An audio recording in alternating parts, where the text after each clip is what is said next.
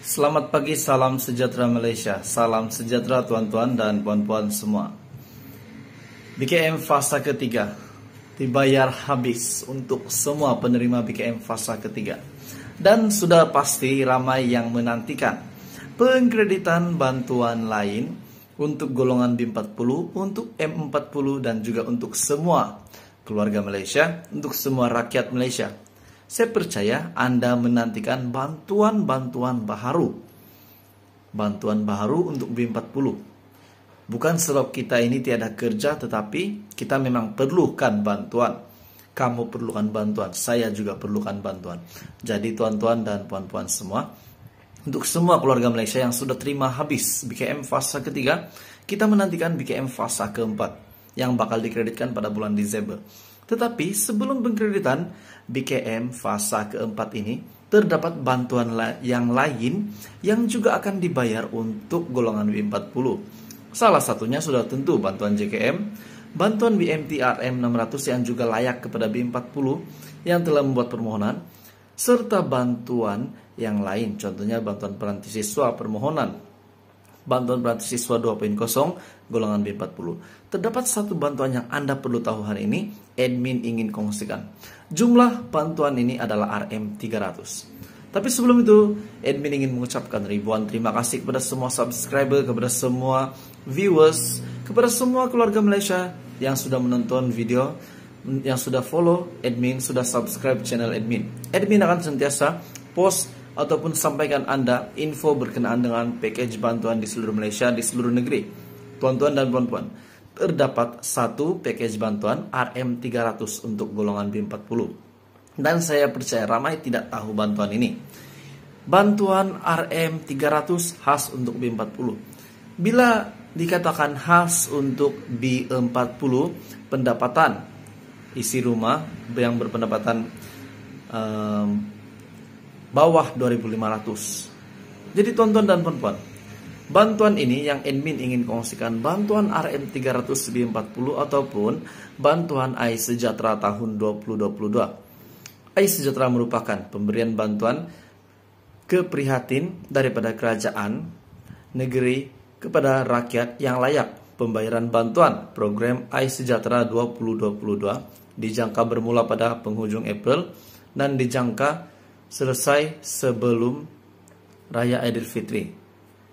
Antara jenis bantuan ini adalah um, bayaran sekali setahun, program penghargaan warga emas, program bantuan ibu tunggal, program ibu emas, program bantuan orang kurang upaya, program bantuan teksi dan bas sekolah, bayaran one off ataupun secara terus RM200 dan RM1000, Manakala untuk program-program yang admin sebut sebentar tadi adalah RM100 sehingga RM150.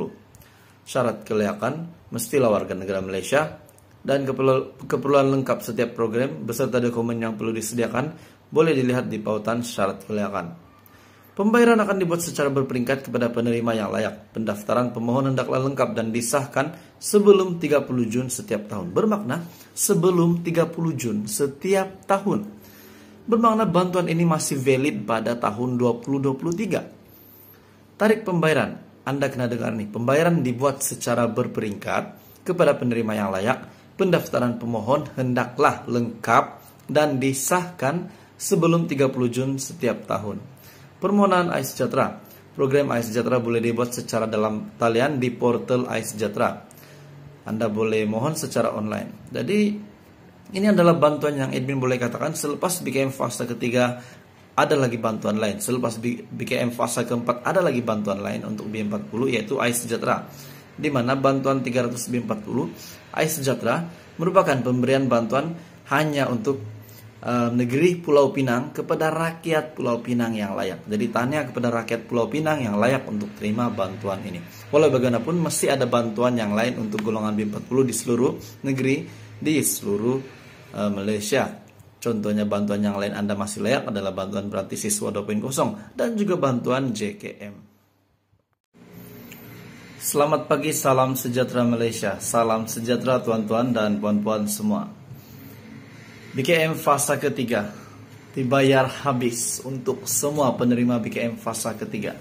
Dan sudah pasti ramai yang menantikan pengkreditan bantuan lain untuk golongan B40, untuk M40 dan juga untuk semua keluarga Malaysia, untuk semua rakyat Malaysia. Saya percaya Anda menantikan bantuan-bantuan baharu. Bantuan baharu untuk B40 Bukan sebab kita ini tiada kerja, tetapi kita memang perlukan bantuan. Kamu perlukan bantuan, saya juga perlukan bantuan. Jadi tuan-tuan dan puan-puan semua, untuk semua keluarga Malaysia yang sudah terima habis BKM fasa ketiga, kita menantikan BKM fasa keempat yang bakal dikreditkan pada bulan Desember.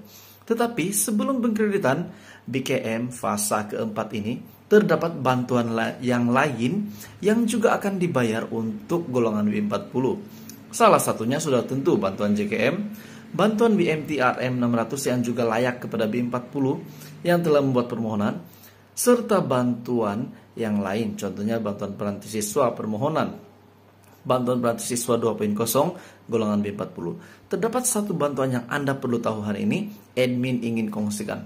Jumlah bantuan ini adalah RM 300. Tapi sebelum itu, admin ingin mengucapkan ribuan terima kasih kepada semua subscriber, kepada semua viewers, kepada semua keluarga Malaysia yang sudah menonton video, yang sudah follow admin, sudah subscribe channel admin. Admin akan sentiasa post ataupun sampaikan Anda info berkenaan dengan package bantuan di seluruh Malaysia, di seluruh negeri. Tuan-tuan dan puan-puan, terdapat satu package bantuan RM300 untuk golongan B40. Dan saya percaya ramai tidak tahu bantuan ini. Bantuan RM300 khas untuk B40. Bila dikatakan khas untuk B40, pendapatan isi rumah yang berpendapatan um, bawah 2500. Jadi tonton dan puan Bantuan ini yang admin ingin kongsikan bantuan RM300 B40 ataupun bantuan AI Sejahtera tahun 2022. AI Sejahtera merupakan pemberian bantuan keprihatin daripada kerajaan negeri kepada rakyat yang layak pembayaran bantuan program AI Sejahtera 2022 dijangka bermula pada penghujung April dan dijangka selesai sebelum Raya Aidilfitri. Antara jenis bantuan ini adalah um, bayaran sekali setahun program penghargaan warga emas program bantuan ibu tunggal, program ibu emas, program bantuan orang kurang upaya, program bantuan teksi dan bas sekolah, bayaran one off ataupun secara terus RM200 dan RM1000. Manakala untuk program-program yang admin sebut sebentar tadi adalah RM100 sehingga RM150. Syarat kelayakan mestilah warga negara Malaysia dan keperluan lengkap setiap program beserta dokumen yang perlu disediakan boleh dilihat di pautan syarat kelayakan. Pembayaran akan dibuat secara berperingkat kepada penerima yang layak. Pendaftaran pemohon hendaklah lengkap dan disahkan sebelum 30 Jun setiap tahun. Bermakna sebelum 30 Jun setiap tahun. Bermakna bantuan ini masih valid pada tahun 2023. Tarik pembayaran. Anda kena dengar nih, pembayaran dibuat secara berperingkat kepada penerima yang layak. Pendaftaran pemohon hendaklah lengkap dan disahkan sebelum 30 Jun setiap tahun. Permohonan AIS Sejahtera. Program AIS Sejahtera boleh dibuat secara dalam talian di portal AIS Sejahtera. Anda boleh mohon secara online. Jadi ini adalah bantuan yang admin boleh katakan selepas BKM fase ketiga ada lagi bantuan lain. Selepas BKM fase keempat ada lagi bantuan lain untuk B40 yaitu AIS Sejahtera. Di mana bantuan 300 B40 AIS Sejahtera merupakan pemberian bantuan hanya untuk uh, negeri Pulau Pinang kepada rakyat Pulau Pinang yang layak. Jadi tanya kepada rakyat Pulau Pinang yang layak untuk terima bantuan ini. Walau bagaimanapun mesti ada bantuan yang lain untuk golongan B40 di seluruh negeri di seluruh uh, Malaysia. Contohnya bantuan yang lain Anda masih layak adalah bantuan berarti siswa 2.0 dan juga bantuan JKM.